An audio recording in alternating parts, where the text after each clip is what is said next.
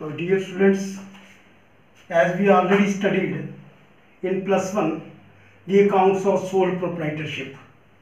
You very well know that the object of accounts is to ascertain profit and loss and financial position of the concern after a certain period. Now in this class plus 2 we study the accounts of partnership means partnership accounts.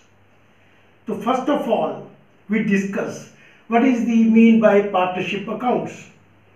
Partnership accounts are those accounts which are prepared by the partnership firm to ascertain profit and loss and financial position. That is why I write, please note down, partnership accounts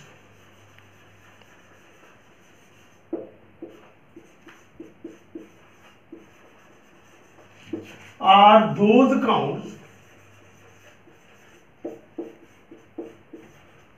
which are prepared by the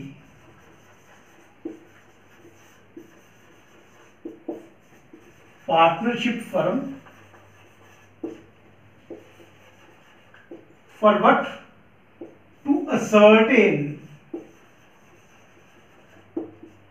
profit or loss and financial position.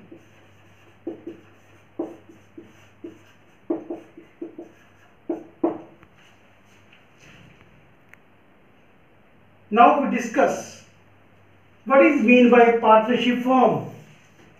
This is the first definition. Partnership accounts.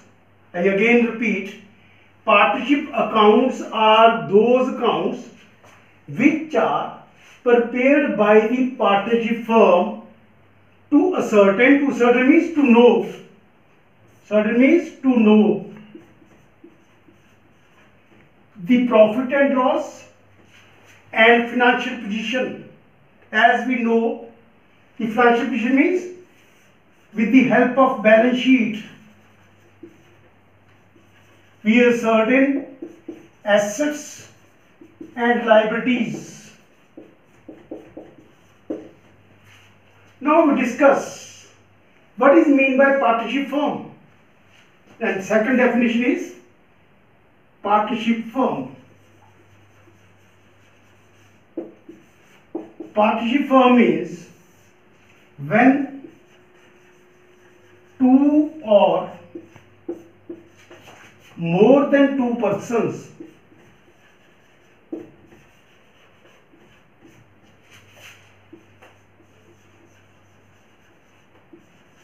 working together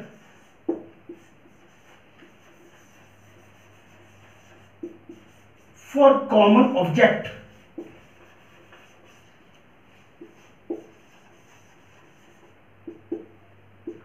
and the working under the provisions of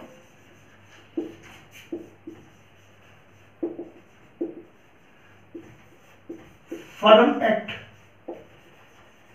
1932. This is the second form of business as we are uh, studied earlier in the business studies. The sole proprietorship, partnership accounts, partnership firm, HUF, firm, company, AOP, all these are business forms, various business forms. And this is the second form of business that is partnership. In this we, we studied partnership accounts which we say the partnership accounts are those accounts which are prepared by the partnership firm to certain profit and loss and financial position. And partnership firm means when two or more than two persons, minimum there are two persons and more means maximum partners are 50 in a ordinary firm. There are two types of firms. There are two types of firms. First, which is registered under the Firm Act 1932 and second, which is registered under a special act 2008 which is LLP we'll discuss later on. Limited liability. Partnership. According to LLP there are maximum partners are 100 but today we are discuss the partnership firm which is registered under the Firm Act 1932. According to this, there are minimum 2 persons and maximum there are 15 partners in a firm.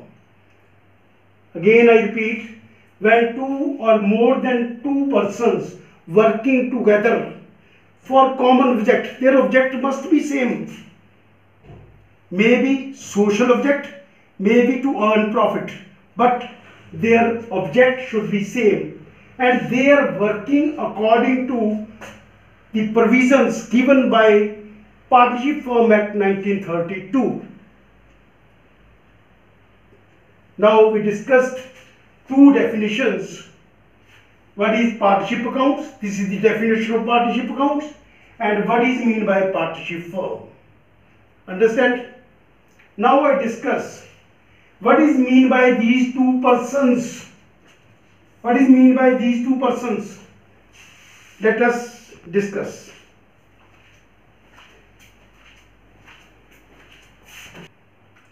These two or more than two persons are known as partners.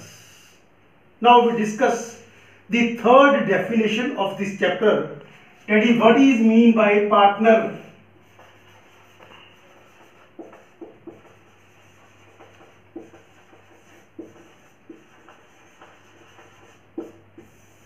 partner means person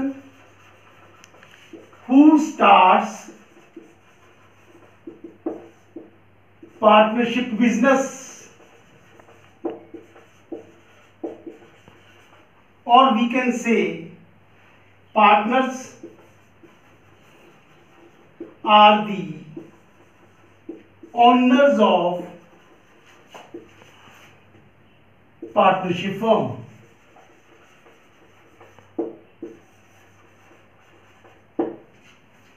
Then now we discuss types of partners.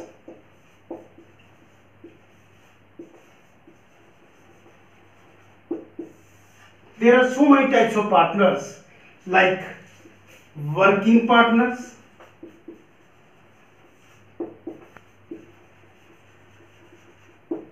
we can say active partners,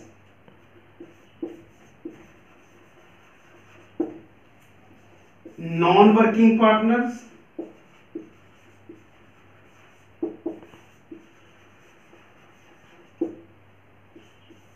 secret partners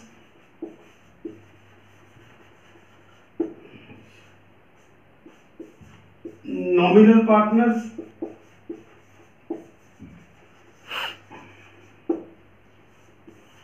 partners in profit only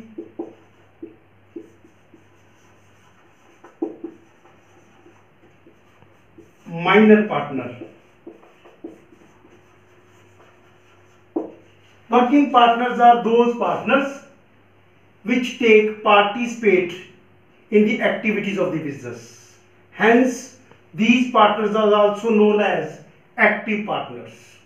Non-working partners are those partners which cannot take participate in the activities of the business. They can invest only the uh, capital their own capital in the business. Secret partners are those partners which who does not disclose their names in the books of the firm. And nominal partners are those partners which are the name of that partners used by the firm with their permission. Either they not get any profit, they not, not invest any capital. Partners in profit only are those partners which are participate as a profit partners. They are not participate as partner in the loss of the firm. We discuss it later on.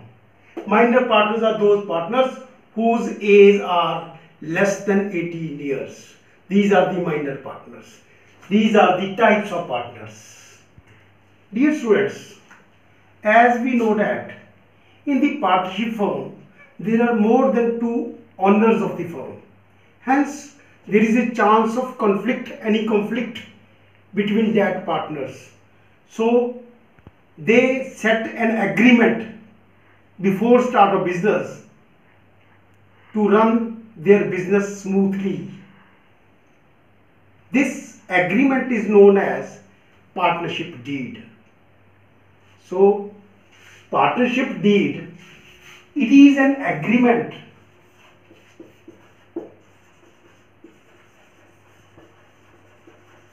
between the partners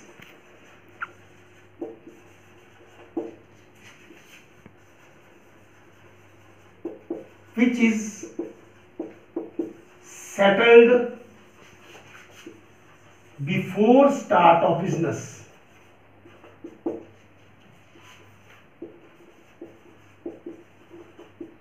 It may be written or oral.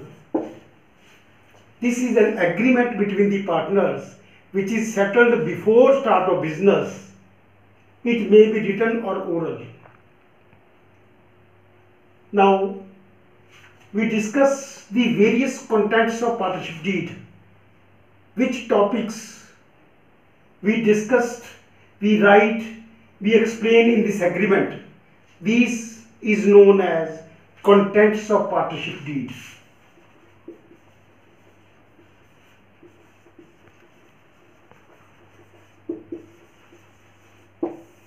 First, name of the firm.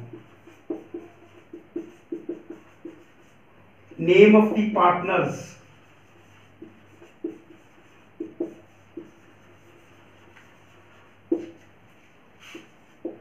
Share of the partners.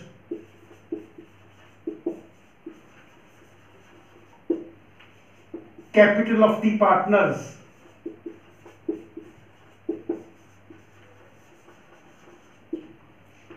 interest on capital drawings interest on drawings loan interest on loan. Remuneration. Means salary, bonus, commission, valuation of goodwill,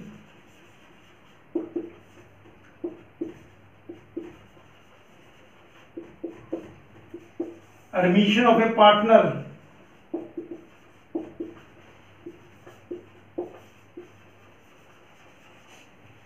retirement of a partner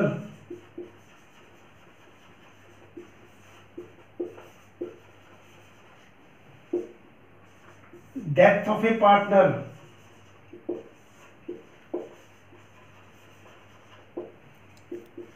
and dissolution of the firm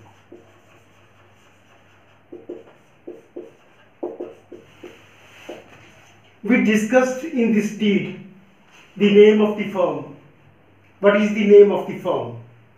Name of the partners, address of the partners, their share of the partners, capital, what capital they have to contribute in the firm, interest on capital, interest on capital should be allowed to the partners or not. Drawings, we, we, just, we know that drawings means the partners with the due cash or any asset from the firm for their personal use. We give right regarding drawings or not, they discuss in the agreement. Interest on drawings, we charge interest on drawings or not. What is the condition of loan? At the deficiency of cash, they may require loan. loan should be taken or capital, more capital should be contributed. They discuss in the agreement. And what is what is the interest of loan? At which interest loan should be taken? Remuneration means salary, bonus, commission to working partners. Valuation of goodwill, we discussed in the plus one. Goodwill means fictitious asset which we cannot see or touch. So how to calculate the value of that type of assets? We discuss in this deed. Then admission of a partner. We admit the new partner or not. What is the what we can to do at the time of retirement of a partner? How a partner can be retired? Death of a partner. What we can do at the time of death of a partner? We have to continue or we just discontinue the partnership firm. Then dissolution of the firm. How we can wind up the firm all these topics, all these uh, problems we discuss in this partnership deed, which is known as contents of partnership deed. We discuss these contents of partnership deed. This is the whole syllabus of the partnership accounts. In the first chapter, that is fundamental of partnership accounts, we discuss the whole these topics up to interest on loan, up to remuneration of working partner. In second chapter of partnership, we discuss the valuation of goodwill, how to calculate the value of the goodwill. In third chapter, we discuss the admission of a new partner, how to prepare the accounts at the time of admission of a new partner. And in fourth chapter, we discuss retirement of partner and death of a partner. And in the fifth and last, we discuss the chapter dissolution of the firm. Out of these five chapters, we got the paper of 40 marks. So this is a very important topic and we discuss what is mean by partnership deed and explain its various contents. We get the question in paper, explain the any four contents of partnership deed we can write name of the partner, name of the firm, share of the partner. All these are the contents of partnership deed. Now we discuss very important topic that what are the rules applicable in the absence of partnership deed. When there is no deed discussed, finalized, prepared by the partners, then what shall we do? According to partnership format, there are five important rules which are automatically applicable in the absence of partnership deed. We can say when deed is silent these five rules i tell you. Very important. Now we discuss very important topic. That is rules applicable in the absence of partnership deed. Means these are the rules which are automatically applicable when the partnership deed is silent. First, very important, profit or loss should be divided equally among the partners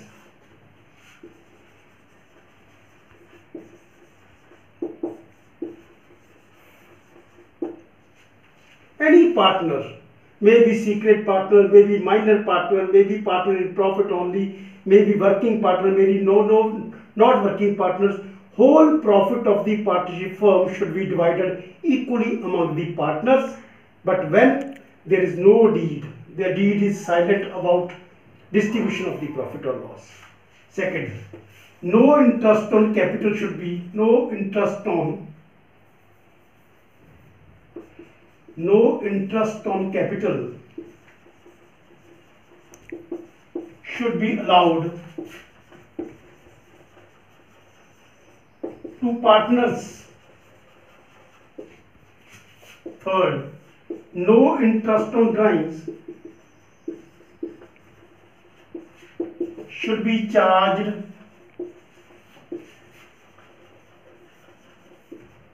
on partners' drawings.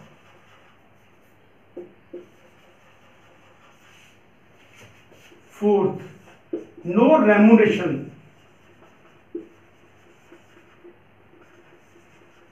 remuneration means again I discussed remuneration means any salary any bonus any commission no remuneration should be allowed to working partners and fifth last interest on loan should be at the rate of 6% per annum. Any loan we taken from any person, interest on loan should be at the rate of 6% per annum. These are the very important five rules which are automatically applicable in the absence of partnership deed. Now we discuss the whole topics. Dear students, now I explain, I repeat the whole lecture which is given by me to you regarding partnership accounts. That first, what is partnership accounts?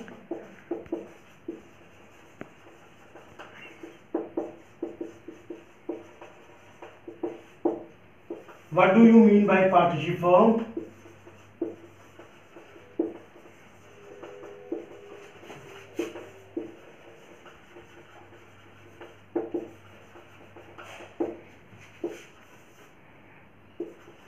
What is mean by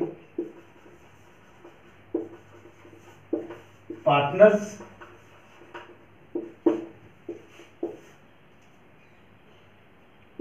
Maximum minimum number of partners in a firm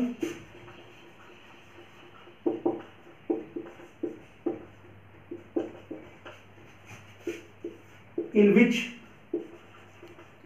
act it is mentioned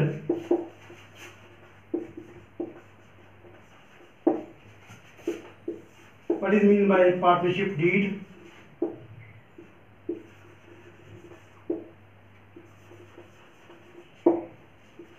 types of partners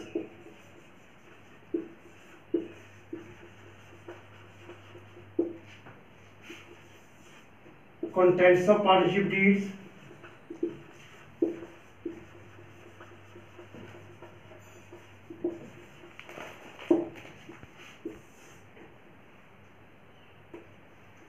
rules applicable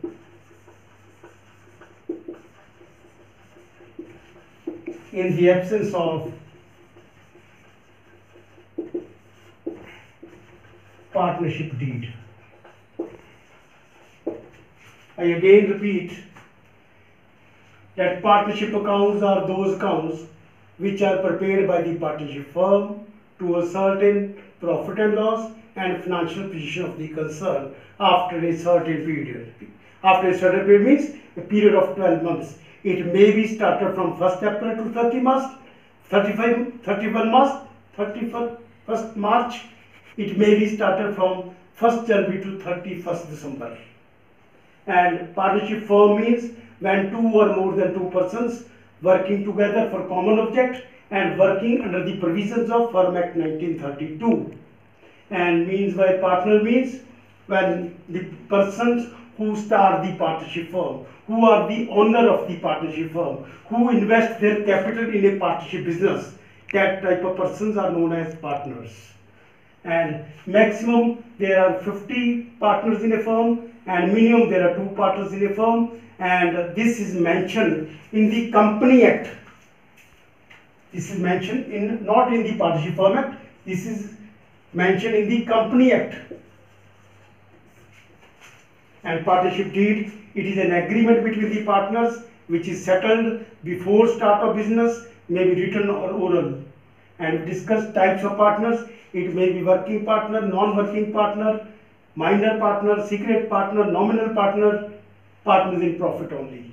Contents of partnership deed means that topic which are already mentioned in the agreement before start of business that is name of the firm, name of the partners, address of the partners, their share of the partners, uh, rules regarding admission of a new partner, rules, rules regarding valuation of goodwill, rules applicable at the time of retirement of a partner, rules applicable at the time of death of a partner, capital regarding decisions regarding capital, interest on capital, drawings, interest on drawings, loan, interest on loan, etc. All these are contents of partnership deeds.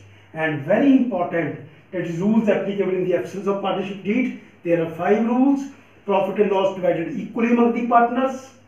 And second, no interest on capital, no interest on drawings, no remuneration to working partners and interest on loan should be allowed at the rate of 6% per annum. Now we discuss in this chapter the main two topics. First is profit and loss,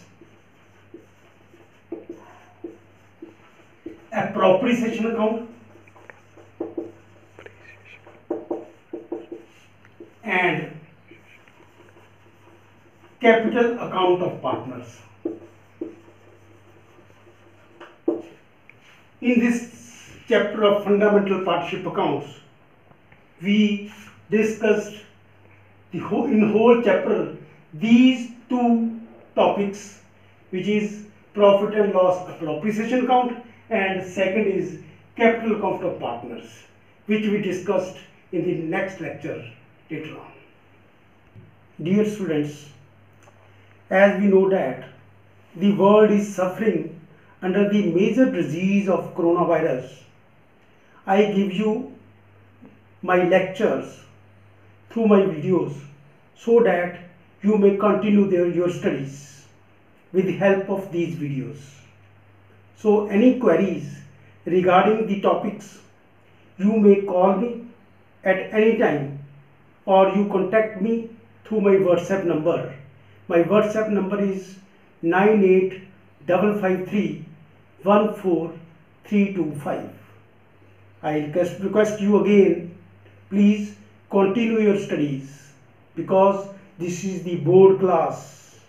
I am always with you at any time.